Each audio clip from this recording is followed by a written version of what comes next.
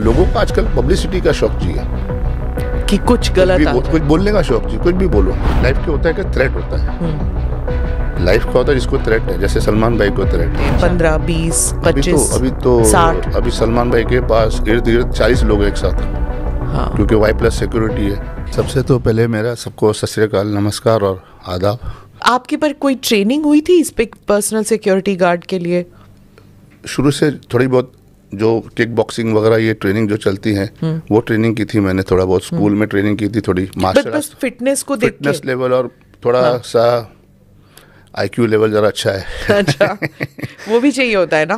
Alert होना है। Alert होना है हाँ। And you have to make a decision at the point when it is needed आप अगर इसके ऊपर उम्मीद रखो सिक्योरिटी का जो मेन चीज़ है कि you have to make a decision अगर आप लीड कर रहे हो तो you know what you are doing and आपको डिसीज़न लेना बहुत ज़रूरी है। अब हम सलमान खान के बारे में आप उनको मालिक बुलाते हैं? या मालिक है। वो सब तरीके से मालिक है। किसी भी चीज़ के लिए या किसी भी ज़रूरत के लिए सबसे पहले खड़े रहते हैं। तो कैसे आप आपकी पहली मुलाकात कैसे हुई? किसने कहा कि हाँ आप सलमान खान के साथ आप जुड़ जाइए शुरुआत ऐसा था कि मैं एक इवेंट कर रहा था विकफील्ड का। तभी सलमान भाई उधर आए थे और वहाँ मेरा उनसे खाली नज़रअंदाज मतलब नज़र मिली थी बस सामने से।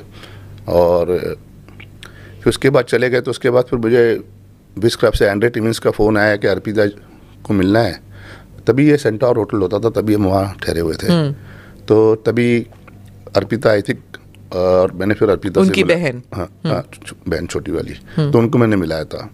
उसके साथ उसके बाद मेरी अगली मुलाकात हुई थी सलमान भाई के जब कैनो रीव्स आए थे तो ही वो ऑर्किड के टेरेस पे जो सैंता क्रूज में होटल है ऑर्किड होटल उसके टेरेस पे फ़ंक्शन था।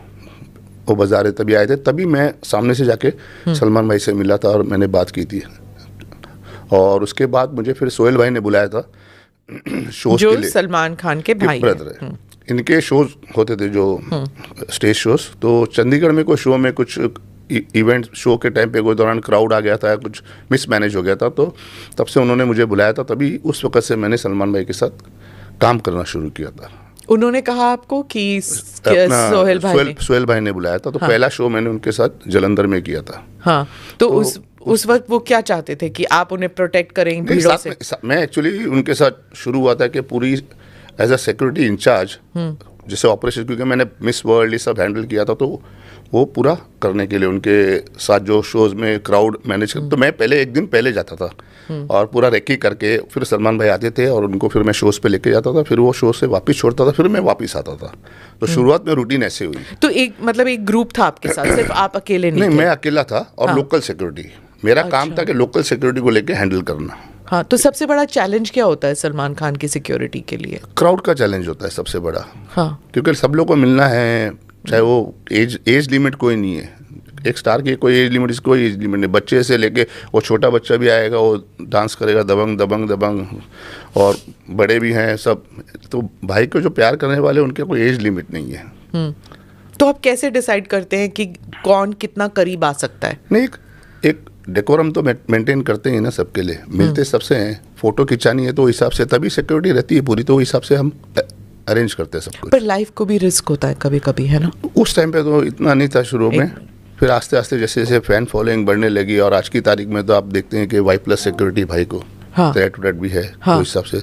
तो अभी मुश्किल है बहुत काफ़ी भाई को तो आपको उनके साथ भी काम करना होता है जो सरकारी सिक्योरिटी ऑफिसर होते हैं और जो प्राइवेट सिक्योरिटी ये सबको टीम वर्क होता है actually security is a team work okay अगर मैं किधर भाई को लेके भी जाता हूँ हाँ। कोई दूसरे शहर में लेके जाता हूँ तो अगर मेरे साथ जो लड़के जाते हैं आठ दस लड़के हमारे जो परमानेंट जाते हैं बारह लड़के जो परमानेंट हैं वो जाते हैं तो उनके नीचे लड़के उनको लोकल हम अपना मेरा एक कवर के बाद वो पूरे हमारे टीम का कवर होता है फिर वो थर्ड कवर जो होता है उनका होता है जो बाहर के लड़के होते हैं लोकल्स का.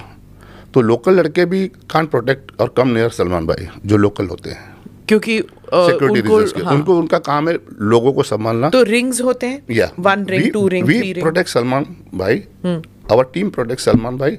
Locals are there to protect the and take care of the crowd अच्छा तो क्राउड कंट्रोल अलग चीज़ होती है हाँ, पर्सनल सिक्योरिटी security अलग चीज़ है।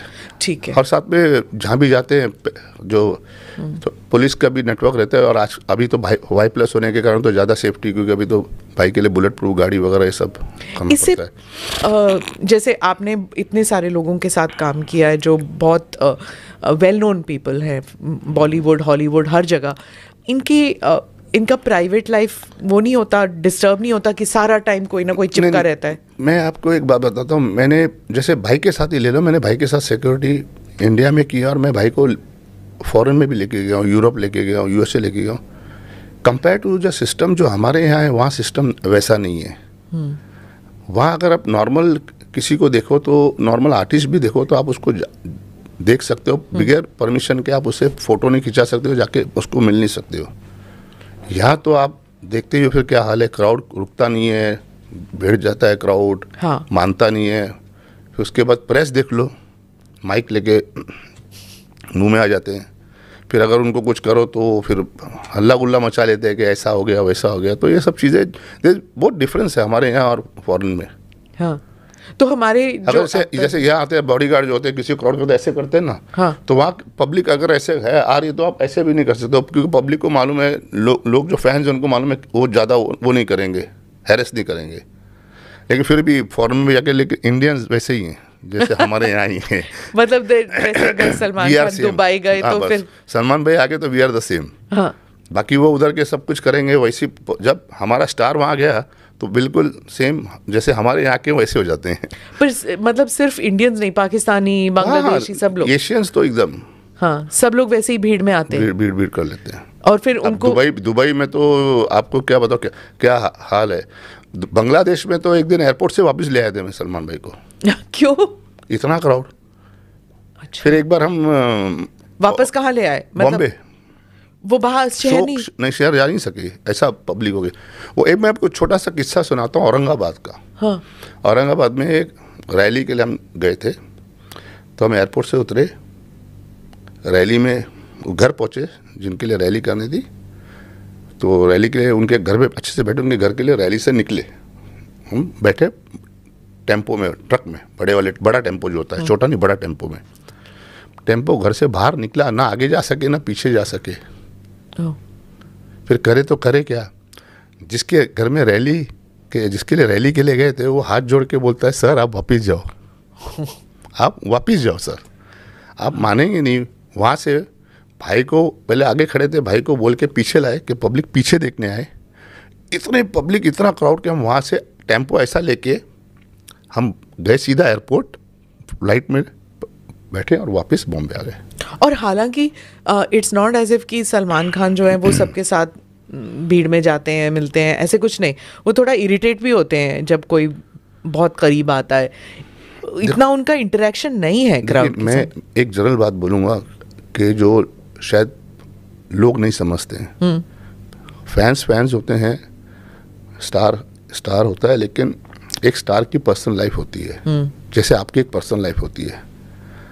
आप भी कभी कभी वो पर्सनल लाइफ में भी कभी घर में कुछ हो जाए या आप, आपकी वाइफ के साथ या मॉम के साथ या घर में आपके काम को लेकर कभी आप किसी चीज़ से थोड़े बहुत अपसेट होते हैं। तो वो जो मूड होता है उस टाइम पे किसी का भी दिल नहीं होता थोड़ा सा अपने आप को लोनली लगना चाहता है लेकिन ये स्टार्स लोगों को नहीं मिलता।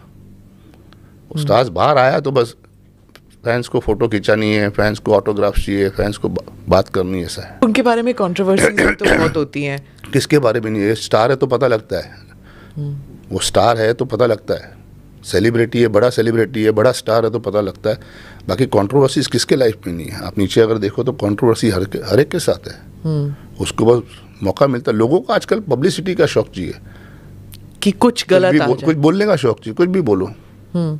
तो सबसे सबसे बड़ा रिस्क क्या होता है सेलिब्रिटी के लिए भीड़ के मामले में? मतलब एक तो है लाइफ कि कोई अटैक ना हो। देखो लाइफ का लाइफ के लिए उसको लाइफ लाइफ के होता है कि थ्रेट होता है। लाइफ का होता है जिसको थ्रेट है जैसे सलमान भाई को थ्रेट है। शाहरुख खान अमिताभ बच्चन सबको बहुत सारे एक्टर्स को थ्रेट है। हाँ। तो जिसको थ्रेट है उसके लिए है। उनके लिए क्राउड में जाना मुश्किल है। हाँ। जैसे रैकिक क्राउड में कोई फ़ंक्शन है इवेंट है शो हो रहा है उसके अंदर क्राउड में कौन है क्या नहीं है वो सब बहुत देखना पड़ता है उस चीज़ तो को। आप उनके साथ रहते हैं।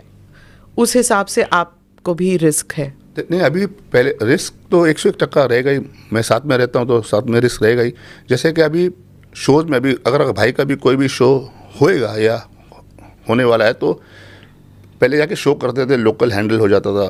जाके अभी तो हमने मैं खुद जाता हूँ खुद मिलता हूँ उधर के कमिश्नर ऑफ़ पुलिस को डीजीपी को बात करता हूँ पूरा सिक्योरिटी का बंदोबस्त करता हूँ शो होने के पहले के सेफ्टी पूरी चाहिए। तो वो हिसाब से। सलमान खान को या शाहरुख खान को उनके इर्द गिर्द कितने लोग होते हैं? पंद्रह बीस अभी तो अभी तो साठ? अभी सलमान भाई के पास इर्द गिर्द चालीस लोग एक साथ। हाँ। क्योंकि वाई प्लस सिक्योरिटी है। पुलिस भी है पुलिस की एस्कॉर्ट भी है आगे पीछे और पर्सनल एस्कॉर्ट भी है और पर्सनल बॉडीगार्ड्स भी